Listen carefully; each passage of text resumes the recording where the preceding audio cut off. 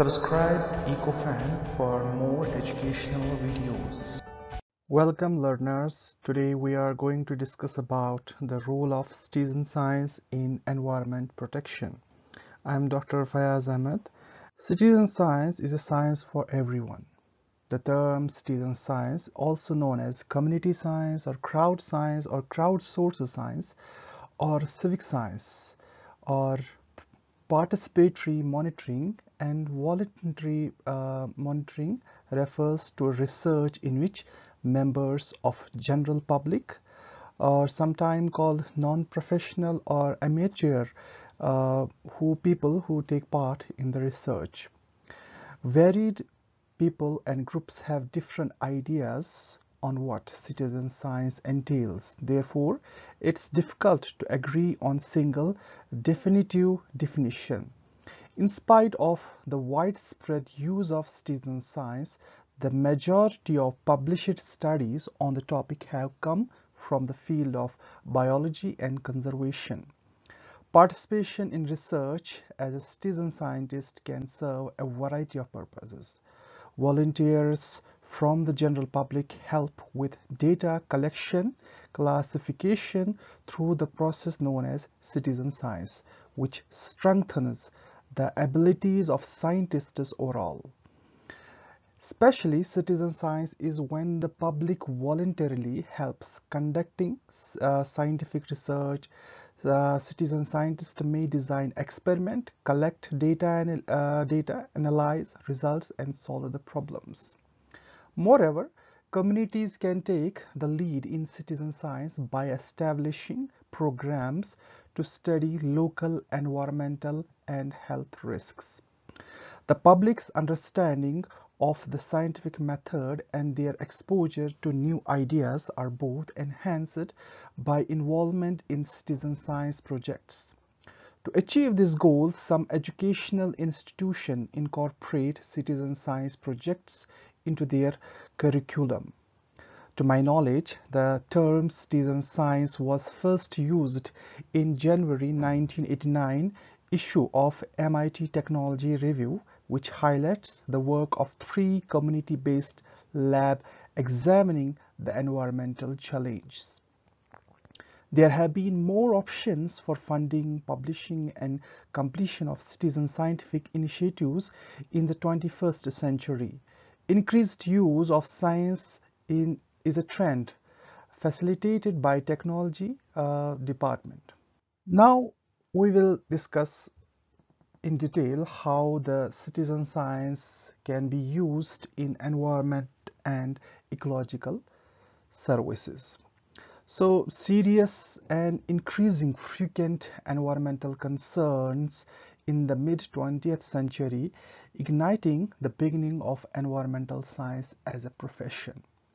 As the profession has grown, so too has the need for more data and the number of scientists required to collect and analyze these data, the impact these data and the narratives that accompany them can have uh, on policy and behavioral change has also subsequently grown with environment, health playing an ever-increasing role in uh, decisions and debate from global level to national level to community and to the individual level.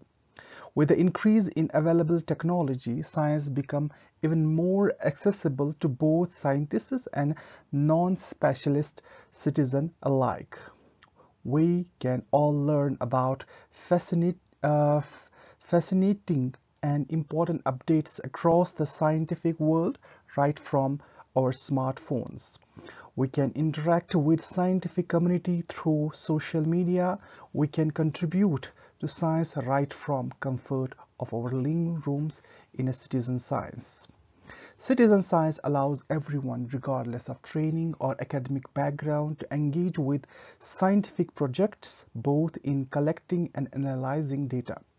So with the example of the citizen science in environment and ecological services, there have been six stages so six interactive stages of designing and implementing citizen science project for identifying the need or the problem to evaluating project uh, and focusing on the field of environment science and ecology. The project teams should be action oriented while designing and implementing the uh, citizen science initiatives. The first stage of the citizen science project life cycle is identifying the need or problem in which need or problem that the project is aiming to address is identified and the boundaries are defined. Depending on the purpose and the type of project, the problem or need can be identified by scientists, participants, uh, other stakeholders or all of them together based on the models of public participation in scientific research and levels of participation. At this stage, it is useful to think about the key stakeholders and try to understand the problem from their perspective, particularly stakeholders from target groups. Possible solutions to problem and their limitations need to be considered and research questions and general objectives should be formulated with reference to those solutions and limitations. Acknowledging the stakeholders may not have identified a specific problem or research question as uh, is sometimes the case in ecological and environmental studies, but instead may have noted the need of baseline monitoring can help to guide the work. Additionally, it is important to have an overview of similar projects and available methods that could be useful for project. Within the rapid growing citizen science field and literature, it is likely that similar problems and needs have already been addressed through other initiatives. Some early considerations on the evaluation and sustainability of the project are also helpful in framing overall idea and establishing the sound basis of the upcoming stages. The second stage, it is important to recognize that not all research projects can be addressed with citizen science approach. This stage is about ensuring the citizen science is the right approach to address the problem and research questions identified in the first stage. The goal is to understand whether involving the citizen science participation will help to achieve the desired results while at the same time benefiting participants by addressing their needs or fostering new skills and expertise. If both the, uh, those conditions can be met, then citizen science approach are likely to be appropriate for the project. Now the stage 3 is designed uh, the overall aims and objectives of the project need to be clearly defined in close collaboration with the prospective uh, with prospective participants. For example, advocating for a policy change or collecting data to answer a scientific question or a combination of both can be the motive motivation for designing a citizen science project. In many cases, practic uh, pra uh, practitioners may want to achieve additional outcome that are beyond the intended results of the project such as social learning, behavioral change or raised interest in science and community building. Such outcomes should be determined defining the project objectives in detail it uh, detail will help to identify the data needs and data collection tools and form formats which could be a smartphone app or data sheet among others how these data should be collected individually or in a team with a prior training or without also depends on the project aims and objectives. Now the stage 4 is the developing a community building plan for the project. For successful community building, knowing the community and understanding their motivations for contributing time and skills for the projects are important. Identifying age group, education level and interests of the community members among their form, formation help in getting to know the community. Motivation of participants can vary across the community members and may include contributing to science generally and help the environment, getting to know other with similar interests or gaining skills.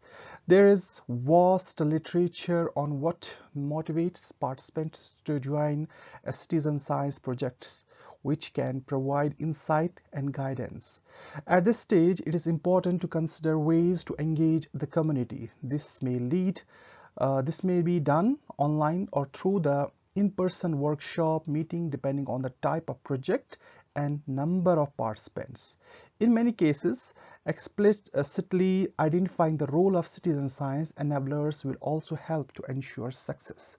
Citizen science enablers are facilitators or third parties who can often bring skills and expertise in facilitation and communication in general public or across the community or to funding.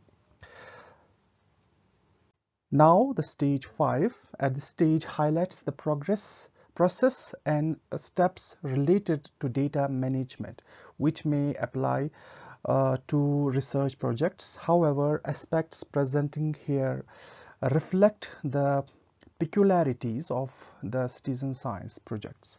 These steps are not necessarily taken in sequential order. Some may take place simultaneously while others occur more than once. The steps related to planning, collection, assuring or present and are presenting in the section, whereas steps involved in analyzing, describing, preserving, integrating are discussed in subsequent sections. First one is planning. In this step, a data management plan linked to the project design stage should be prepared considering requirements such as laws and regulation regarding data privacy and ownership and policy relevant to data access and sharing. Additionally, it is crucial uh, to define ethical project practices such as how to attribute uh, contributors while at the same time ensuring privacy and documenting them through clear set of terms of use of privacy policy for project including which data will be shared and how. It is also important to consider the sustainability of the data management to identify the associated costs and to ensure the resources are available to achieve successful data management. The collection or is the second step uh, refers to the type of information needed to achieve the objectives of the project. This could be the project related information such as uh, such as observations of plants, trees, animals as well as their location and number or additional information such as name, location, email address and participants to ensure the proper acknowledgement of participant contributions or data quality. In ecology and environment projects of contributory type, data are mainly gathered using sensors, special equipment, standard protocol, or uh, opportunistically where no standards or sample methods are used or through combination of methods. Now the assuring, the assurance step involves assure, ensuring the quality of data gathered as a part of project. Data quality is related to its fitness for the purpose, which means that data are sound enough to be used intended uh, used for its intended purpose. Data quality can be assured through quality assurance process which are implemented through uh, before or during data collection and quality control process. And the the last stage is evaluation and that is essential step any project uh, including citizen science. Uh, there are various ways of evaluation such as front-end evaluation or gathering baseline information, formative evaluation, conducting during implementation, uh, and summative evaluation usually implemented at the end of project to identify its effectiveness. The best method of evaluation depends on the project, but it is recommended to consider evaluation as an ongoing effort allowing uh, improvement at any stage. In some cases, evaluation can be funder requirement along with identifying the short-term and long-term impacts of the project. Agreeing on metrics for measuring success and for emerging a future potential is a key to successful citizen science project. New approaches to evaluation in citizen science projects are focusing on the individual impact dimensions that is in collaborative participant uh, with participants and the socio-ecological benefits both worth considering when designing the evaluation methodology. This was all about the citizen science in environment and ecological service. I hope you all enjoy the lecture. Thank you